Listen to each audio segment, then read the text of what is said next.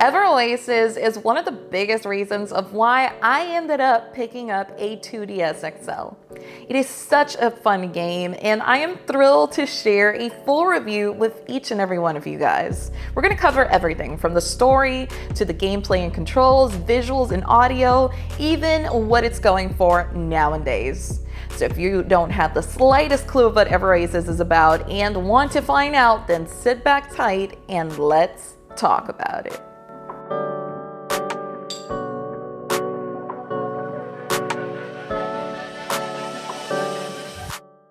Hey guys, what is up? My name is Zap. I go by Zap Cristal, and in this video, like I mentioned earlier, I am prepared to offer you a full review for Ever Oasis. Now, in my past episode, I started covering an entire list of must downloads for free to play games, but also ones that you might want to avoid. So definitely check out that episode after watching this. But yes, we're gonna jump into covering everything you need to know before even considering buying Ever Oasis. So with that being said, let's jump into the story of what Ever Oasis is all about.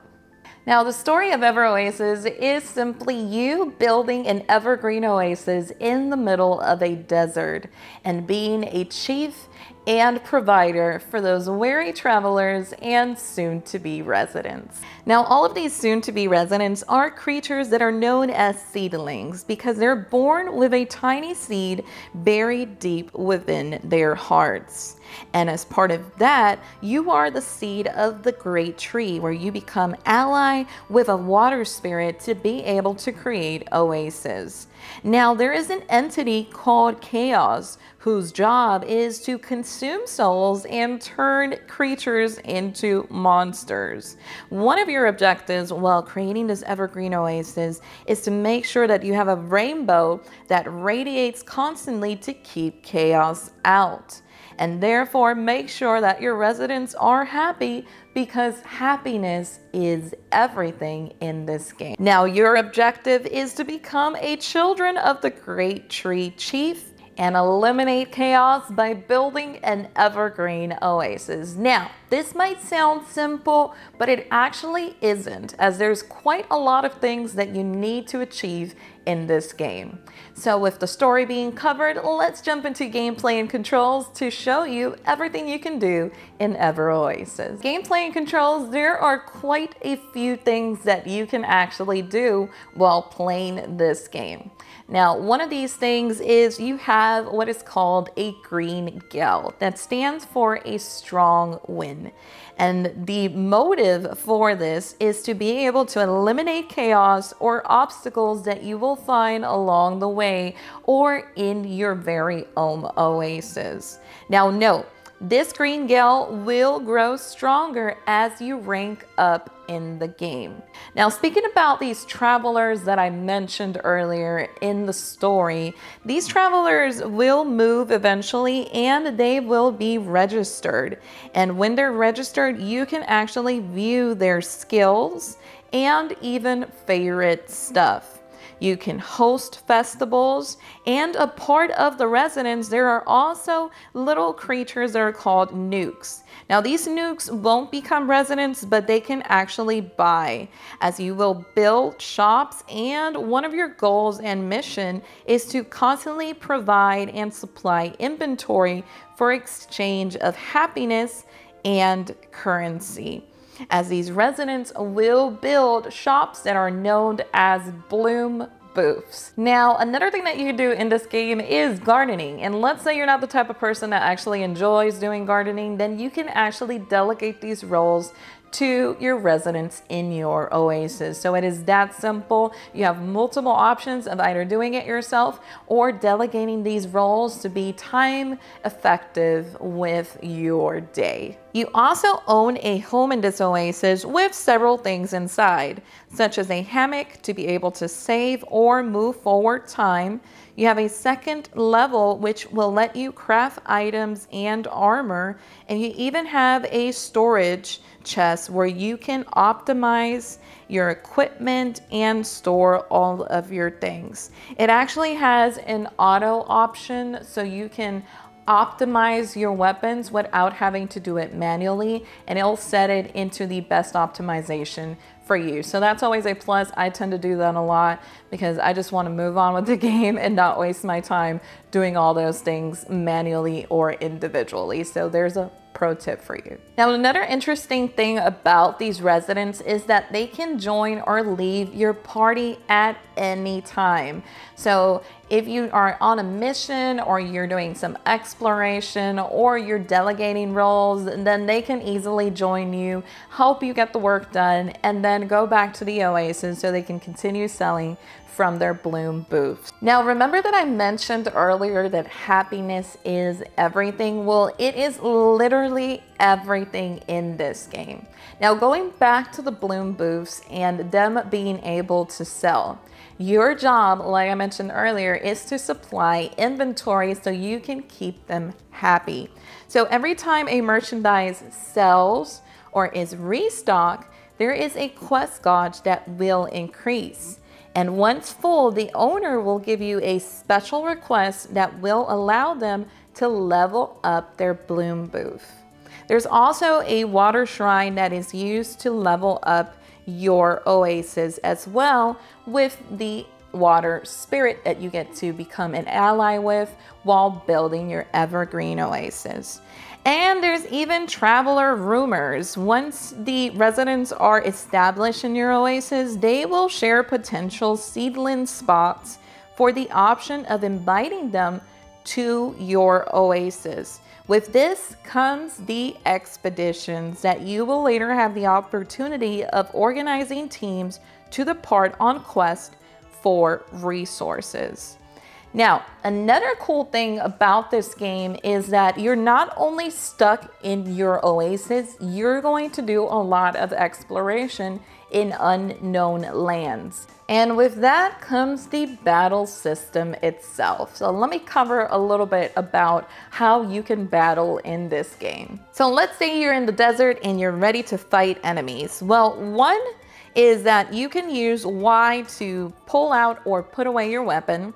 L will be to lock your target. And then your two options as for actions or commands will be A for your light attack and then X for your heavy attack. And then sometimes you're just gonna have to realize that you're not ready to fight them. So therefore put away your weapon and flee as fast as you can. As if you die, you will only have options to warp back to your last save or restart the game all over again. So be wise with who you're gonna battle with and who you're like, no, I should avoid, let me flee. So very important. Now, like I mentioned, a part, a part of being able to battle the monsters, you're gonna do exploration. And a lot of these explorations are inside caves. So you get to explore these caves through story mode. And my best comparison for these caves are if you've played games like Zelda, Majora's Mask, etc., it is very similar. It's very heavy on puzzle solving. You have your boss fights in these caves and in these temples that you get to explore. And there's even different modes, which I will not spoil, of course, but it will involve you forming teams and forming parties where you can play with them and not go solo entirely on your own. So there is a lot of stuff to do when you're outside of your oasis. Now, another thing that will happen once you come back from the trip or expedition that you went out on is that you will be able to level up as every time you battle, you will accumulate experience. So there will be experience gained, but also your residence happiness is everything as you will have what is called a smile meter. And this will help you in your HP, in your health, and also in keeping you protected while you're outside of the oasis. Now let's talk about the menu itself and the layout and how they've organized everything to make the gameplay easier in Ever Oasis. So for your menu layout at the bottom center, you will have two options. You have the option to do fast travel, which is amazing because if you're tight in a spot and you want to go back to the oasis, you can actually fast travel back to your home or to different warp points that you have created in the game. Also, you have an option that is called Bloom Booth, which is kind of like your building mode. As you open this, you will be able to help the seedlings and your residents to build more shops, but also other things that will make your oasis attractive to outside travelers. So there is a simple building mode, and of course, it requires currency in order to be able to build. As for the menu, the menu has multiple options, some that are just quicker access to things that you need to do. So like for example, you have status, which lets you see the basics, lets you see your equipment, the skills that you have, and your weapon actions. You also have a residence, which simply shows all of the residents that you now have living in your oasis. You also have the build mode, which is the same as your bloom booth. You have recipes that you can unlock. You have things which are simply the stuff you accumulate that you can sort or you can see to see what you have in stock and what you don't.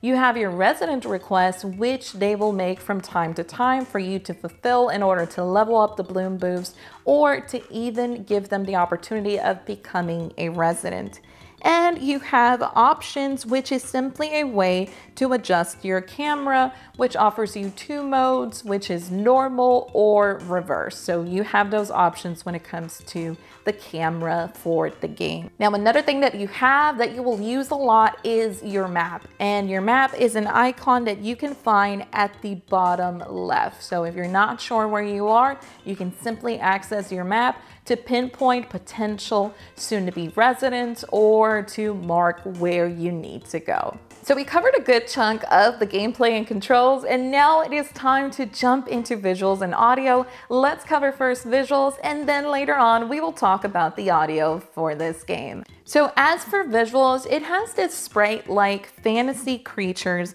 within an ancient Egyptian aesthetic. It has available a 3D feature, so if you're playing this on your 3DS XL, you can be able to turn on easily this 3D feature to be able to enjoy it. Now, something that I wanted to point out is that it was interesting to see that the developer stated that some features in the battle system were carried over from the Mana series. So it's a combination between Final Fantasy, Mana series, and even Zelda. As you all know, or you probably don't know, the developer that created Ever Oasis actually worked on these projects. So he decided to combine all of these games that you probably enjoy into a unique battle system for Ever Oasis. So I think that it definitely shows while you're playing the game the grand influence that it's carried over from these other amazing games.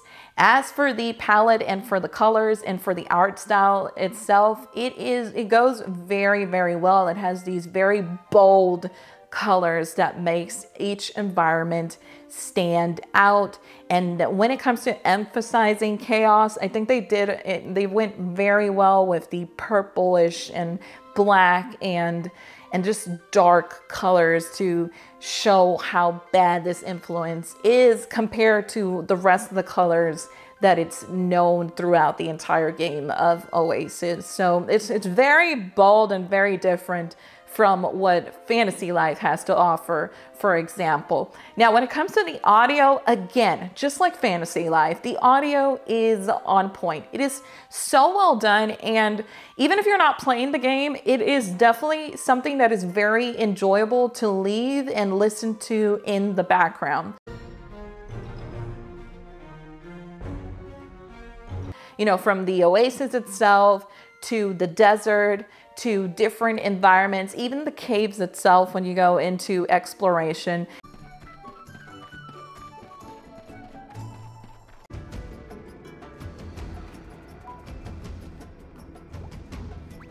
Again, just like Fantasy Life, I want to point out that I love how they made a difference from night and day when it comes to the soundtrack. You know, you know when it's nighttime, it's very chill, it's very soothing compared to the day where it's it's very amped up, ready to go for explorations.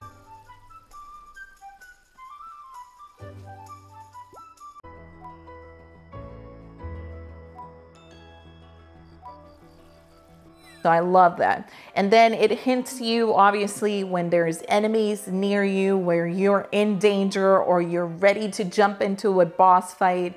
The music quickly changes also to alert you of, hey, get ready to fight.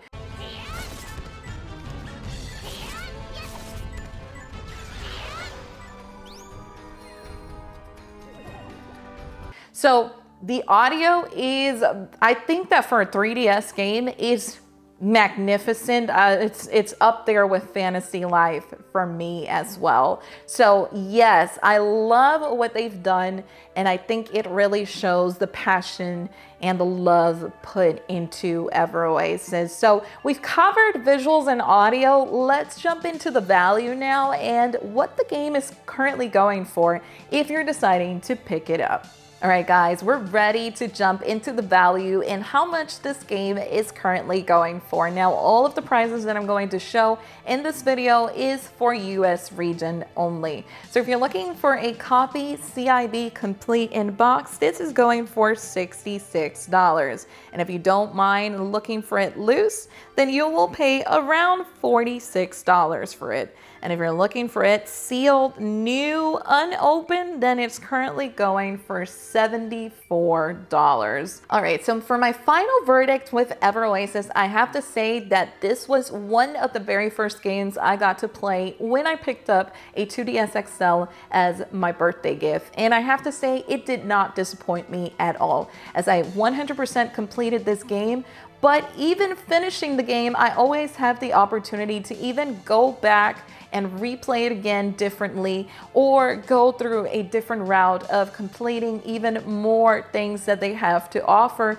such as challenges that you can try to battle and optimize your skills. So if you're into RPGs and adventure games and you enjoy games like Final Fantasy, the Mana series, Zelda games, then you're definitely going to have a blast with Ever Oasis. Let me know in the comments below if you currently own it, if you've played it, what are your thoughts, would you recommend it? And let's share all together as one big community.